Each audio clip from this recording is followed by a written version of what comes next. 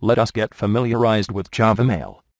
JavaMail is a set of abstract classes that create a framework for sending, receiving, and handling email. It provides a platform-independent and protocol-independent framework to build mail and messaging applications. JavaMail is an optional package for reading, composing, and sending electronic messages. The protocols that support the Java Mail API are Simple Mail Transfer Protocol or SMTP, Post Office Protocol or POP, Internet Message Access Protocol or IMAP, Multipurpose Internet Mail Extensions or MIME, Network News Transfer Protocol or NNTP, and others. SMTP provides a mechanism to deliver email POP or Post Office Protocol as the mechanism that defines support for a single mailbox for each user. IMAP or Internet Message Access Protocol provides support for multiple mailbox for each user. MIME or Multipurpose Internet Mail Extensions defines the content of what is being transferred. NNTP or Network News Transfer Protocol supports transfer of Usenet news articles between news servers. Let's now have a brief look into the Java Mail architecture. Java application uses Java Mail API to compose, send, and receive emails. The SMTP, IMAP, and POP transfers the message packages from the server side to the client side. The packages that contain the core classes of Java Mail are javax.mail.session, Java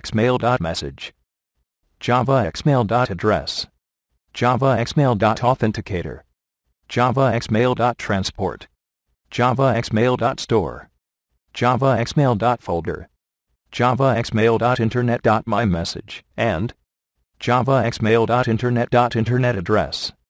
The steps followed in sending an email are 1. Getting a session 2. Creating a default MimeMessage object and 3 set from, to, and subject in the message. 4. Set the actual message as message set text, and 5. Send the message using the transport object. The implementation of these steps require creating a Java class, compile and run the class, and verify the output. The next two important processes are checking and fetching. While checking an email open the respective folder and only check the header of each message. That is, from, to and subject.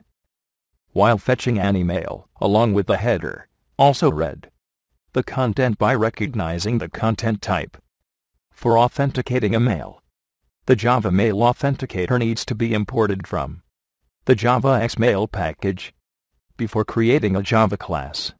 Replying to a Java mail requires the following steps such as getting the session object with POP and SMTP server details in the properties, creating the POP3 store object and connecting to the store, creating the folder object and opening the appropriate folder in your mailbox, retrieving the messages, iterating through the messages and type. Why, if you want to reply, gathering all information about the message, building the reply message using message reply method, setting the headers and send it through the transport object, and finally closing the transport folder and store objects respectively.